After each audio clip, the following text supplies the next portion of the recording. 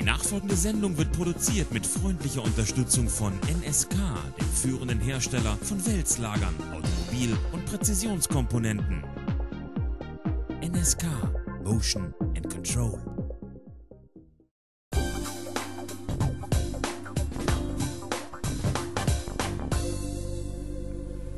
Hallo und herzlich willkommen bei den Auto News. Wir berichten über Aktuelles aus der automobilen Welt. Mein Name ist Anja Nowak. Dacia weiter auf Erfolgskurs. Eine Million Logan weltweit verkauft.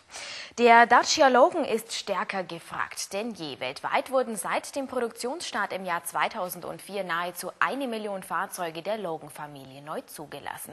Inzwischen werden die Stufenhecklimousine der Kombi MCV, die Kleinlieferwagen-Variante Van und der Pickup in 59 Ländern angeboten.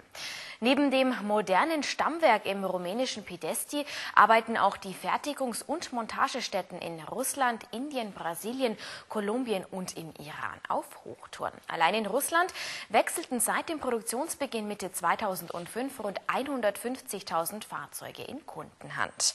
Auch in Westeuropa zeigen die Absatzzahlen stetig nach oben. Mit der fünftürigen Schräghecklimousine Sandero kommt in Europa ab Juni 2008 ein weiteres Modell der Marke auf den Markt. Basis für den weltweiten Erfolg der Dacia-Strategie ist das Stammwerk Pidesti in Rumänien. Renault hat seit 1999 eine Milliarde Euro in die moderne Entwicklungs- und Produktionsstätte investiert. Mit der Ergänzung um eine Technologiesektion und eine neue Designabteilung hat das Unternehmen ein internationales Kompetenzzentrum für die Entwicklung zukünftiger Modelle geschaffen.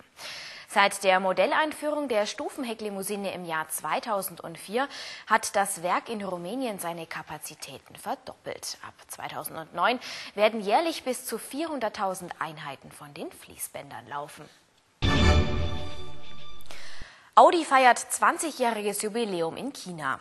Audi hat in Zhangzhou das 20-jährige Bestehen der Partnerschaft mit First Automobile Works gefeiert und den Grundstein für eine neue Montagehalle gelegt.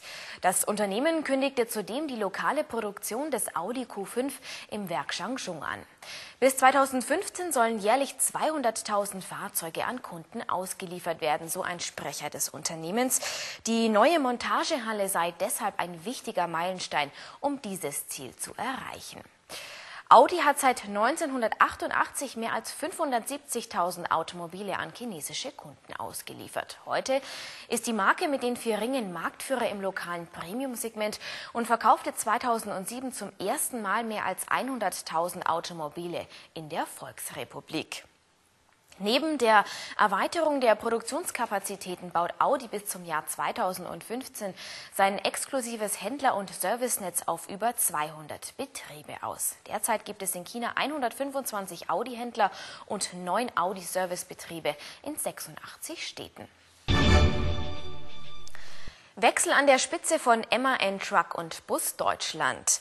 Bernhard Kerscher übernimmt im Rahmen einer strategischen Job Rotation zum 1. Juli die Leitung der MAN Vertriebsregion Deutschland und gleichzeitig den Vorsitz der Geschäftsführung der MAN Truck und Bus Deutschland GmbH, kurz MTBD.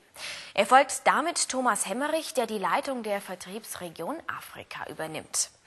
MAN Truck und Bus Deutschland ist mit rund 5100 Mitarbeitern im Verkauf und Service die größte Nutzfahrzeugvertriebsorganisation im Land. Der im Jahr 2007 erzielte Umsatz von 3,1 Milliarden Euro macht etwa ein Drittel des Umsatzes der MAN Nutzfahrzeuggruppe aus. Renault und Nissan legen Grundstein für ein neues Werk in Indien.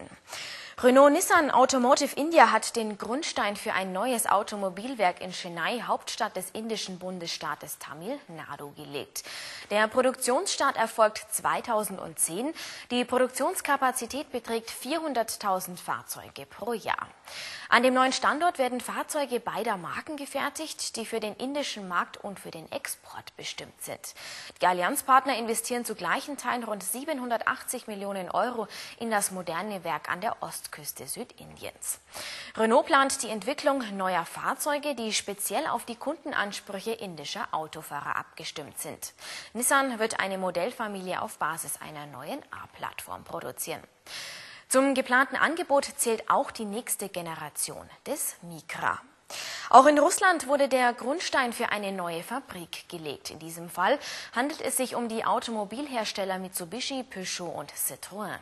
In dem Werk im etwa 180 Kilometer südwestlich von Moskau gelegenen Kaluga sollen ab 2011 die Mittelklasse-SUVs und Mittelklasse-PKWs der Marken produziert werden.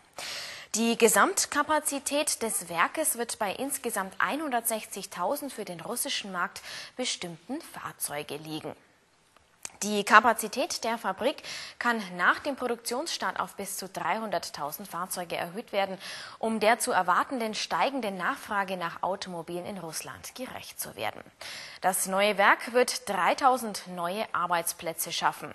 Das gemeinsame Investment der beiden Partner beträgt 470 Millionen Euro. Und das waren die Autonews für dieses Mal. Danke fürs Zusehen. Bis bald und tschüss.